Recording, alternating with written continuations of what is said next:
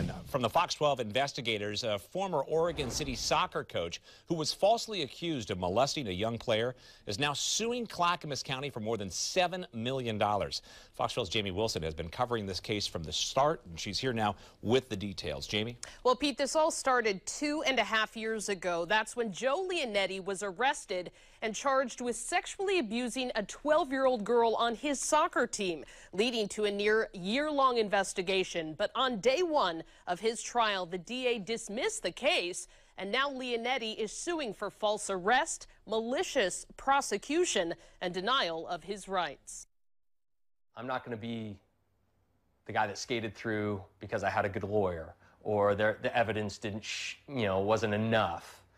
I'll be the guy that proved his innocence because I was innocent. That was Joe Leonetti right after his case was dismissed. He said then it was too early to think about suing the county, but now he's doing just that, filing this lawsuit for $7.5 million.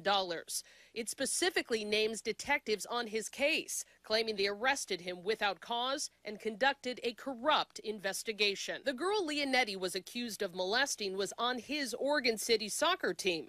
She was also his daughter's best friend and the daughter of a Clackamas County deputy. But Leonetti says the sheriff did not address that conflict of interest.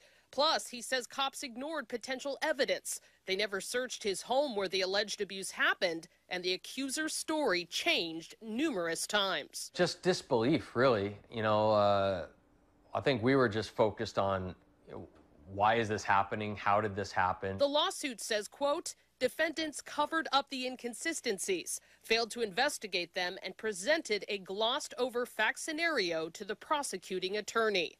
During the investigation, Leonetti was forced to move out of his house, and he could only see his children during supervised visits. His wife, Holly, was also battling breast cancer at the time, and she died last June. Leonetti won't talk specifics about the lawsuit yet, but he tells Fox 12, quote, Our family was filled with relief and joy at the dismissal of the case last year. My wife and I enjoyed our last months together with the black cloud of uncertainty lifted, and my children and I were afforded the time to grieve without burden. Our family feels a responsibility to the public to expose the serious injustice of this investigation. Now, we asked Clackamas County officials for a statement about this lawsuit, but we have yet to hear back from them. Reporting live tonight, Jamie Wilson, Fox 12 Oregon.